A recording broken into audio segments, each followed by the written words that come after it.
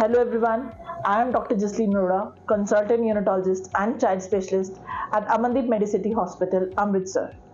This week we are celebrating World Breastfeeding Week, which is celebrated all over the world for all the breastfeeding mothers between 1st to 7th August. The theme for 2024 is Closing the Gap Breastfeeding Support for All so that the benefits of breastfeeding can be extended to all the kids who are from any socioeconomic status. We give better breastfeeding support to the mothers who are working, mothers who can who have to work daily and earn the livelihood for the family. Even for those mothers, giving breastfeeding support so that the kids can have the benefits of breastfeeding in the terms of health, immunity, which will go on long term for providing them health and help them thrive and survive in a better way. So that the overall uh, status of the nutrition is improved the kids are healthy and they can be more productive also. So how can we do that? First is giving breastfeeding maternity benefits to all the mothers.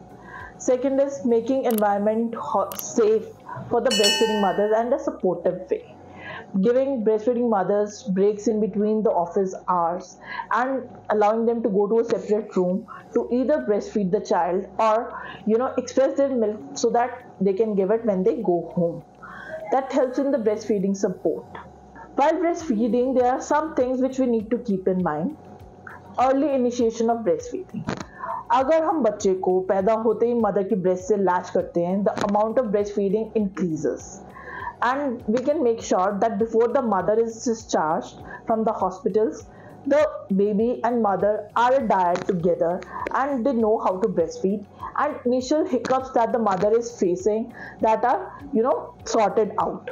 So initiate early breastfeeding within 30 minutes of your normal delivery and by the time in cesarean by 4 hours you can start the baby on exclusive breastfeeds. While breastfeeding, the position of mother, the posture of mother is not very important. The mother can give breastfeed while lying down, while sitting up, or while taking a turn also. The position of the baby is important and we make sure that the baby's head is above the tummy. The child is in an inclined position irrespective of the posture of the mother. Other than that, make sure that the nipple does not press on the nose of the baby so that the child can breathe and swallow at the same time.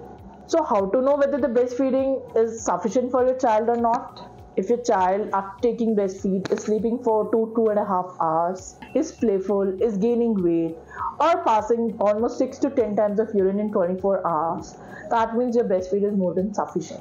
A breastfeeding mother needs even more nutrition than a pregnant female. So have a healthy diet, stay happy, eat nutritious diet which will help improving the quality of the milk and the quantity also. Consult your gynecologist for taking any iron or calcium supplements during breastfeeding so that your child does not have initial anemias or any calcium deficiencies. Thank you. Happy breastfeeding. In case of any doubts regarding breastfeeding, you can contact your nearest pediatrician and get over your hiccups. Thank you.